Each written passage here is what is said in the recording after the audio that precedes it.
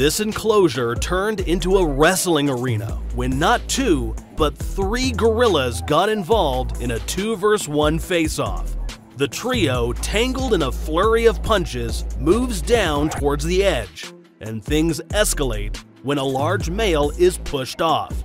Parents try to calm their startled children while the fight below continues. This crowd certainly had a memorable visit to the zoo.